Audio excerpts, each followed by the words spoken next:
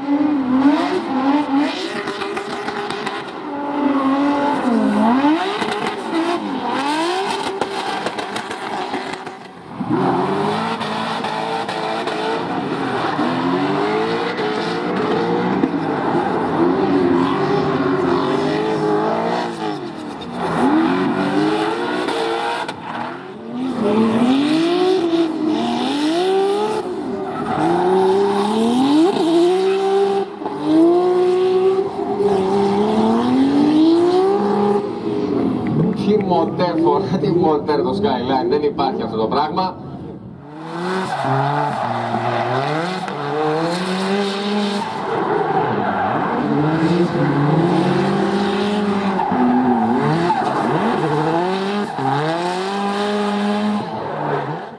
Λοιπόν, επόμενος οδηγός που θα μπει μέσα για τα ελεύθερα δοκιμαστικά είναι ο Καλαμπακιάκης, ο τρελαμένος οδηγός από τις Μύρες, από τη Βολιονιά μάλλον.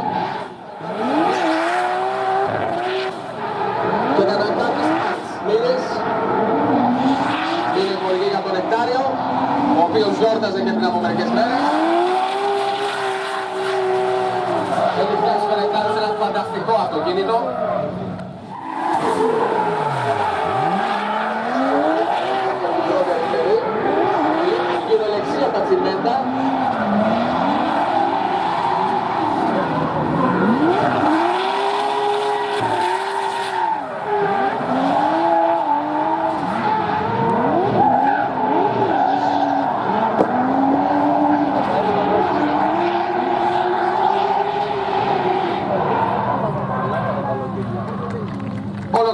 Και το δεύτερο δοκιμαστικό Καραπακάκης, ενώ να πούμε ότι ο χορηγός του που είναι η πίτσα Λανότε, κάποια στιγμή θα φέρει καμιά τριανταριά πίτσες σε κουπόνια να τις μοιράσει στους θεατές.